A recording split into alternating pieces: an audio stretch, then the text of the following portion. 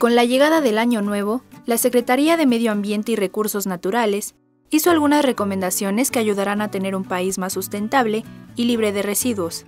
Uno de los propósitos sustentables que aconsejó la institución es llevar recipientes para las compras debido a que desde el 1 de enero quedó prohibida la comercialización, distribución y entrega de bolsas de plástico en la Ciudad de México.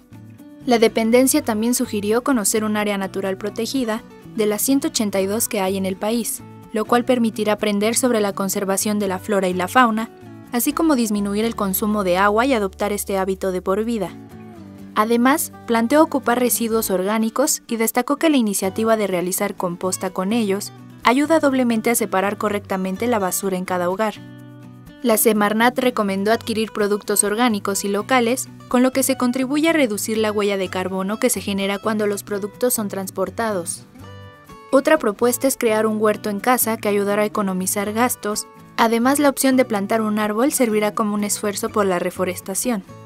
Todas estas acciones individuales se traducen en esfuerzos para contrarrestar los efectos negativos del cambio climático y avanzar hacia los objetivos de la Agenda 2030 de las Naciones Unidas para lograr un desarrollo sostenible.